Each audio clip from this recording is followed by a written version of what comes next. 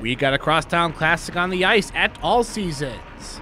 Naperville Central and Naperville North already met once this season that took place during the Carillon Cup semifinals that resulted in a Husky 7-1 victory. Hawks look to get that bad taste out of their mouth. The puck goes loose on the ice that finds Central's Liam Hannemann for the goal. 1-0, red and white. Time for the Huskies to respond as Patrick Hennessy finds the loose puck on a breakaway. He misses the shot, but Zach Zuspann is right there for the score to tie up the contest at one. To the second period, still tied up. Hawks Jack Sambrooks is surrounded as his shot gets deflected, but there's Tyler King for the goal, and the Hawks take back the lead 2 to 1.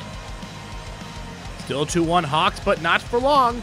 After the faceoff win, it's Sambrooks again on the breakaway, and after a couple of fancy moves, his shot goes in off the post. It's now a 3 1 Naperville Central lead. Now to the third period, we're getting started.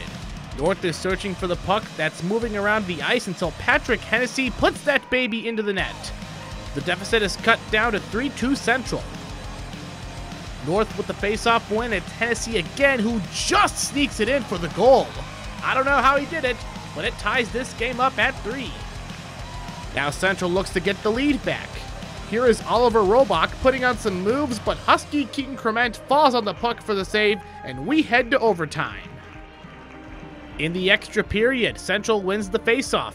Ethan DePorter has the puck and passes it to Misato Lin, and with the defender closing in, he gives it back to DePorter, who shoots and scores for the win.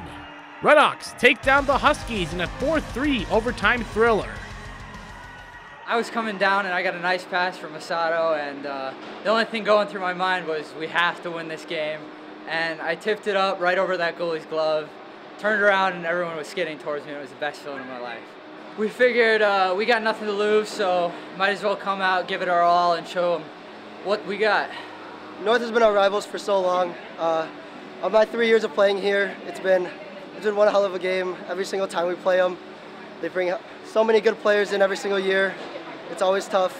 Uh, I've never beat them in my three years here, and to come out and have a performance like that was just amazing.